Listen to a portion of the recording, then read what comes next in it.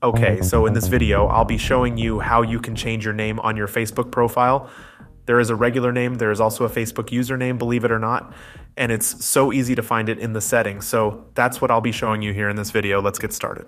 So naturally, open up your Facebook application. I kind of assume that you have it installed and like downloaded on your iPhone, everything set up properly.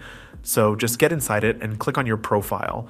Uh, you can see here in the lower portion of the screen, there is this tab bar. So just tap on your profile picture. You will get to this section, open up the settings page. There is this gear icon. So go ahead and tap on that.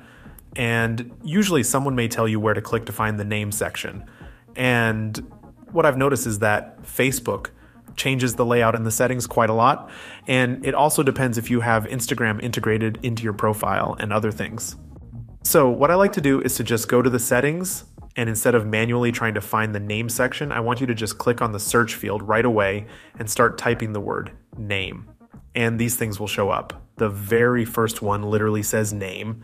So go ahead and click on this, and this should move you over, perhaps even a couple of times. And here you'll be able to rename your profile.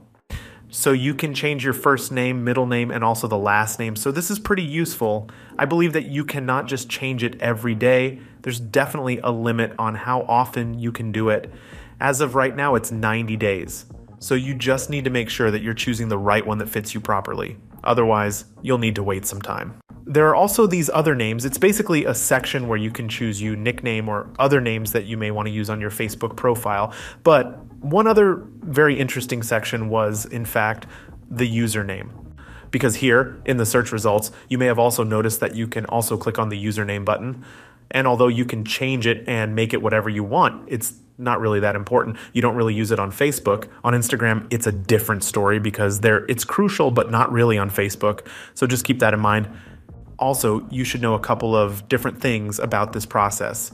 Firstly, Facebook has specific guidelines regarding name changes. Make sure your new name complies with their policies. It should be your authentic name, not a pseudonym, nickname, or business name. Then, changing your name may affect how easily people can find you on Facebook. If you have an established online presence and want to maintain your visibility, consider adding your previous name as an alternate name in your profile settings. That wraps up all the information I wanted to share in this video. If you found it useful and want to see more content like this, make sure to subscribe to the Foxtecc YouTube channel. By subscribing, you'll have access to similar videos in the days ahead. Thank you for watching, and I'm excited to have you join me in the next video. Take care and have a peaceful day.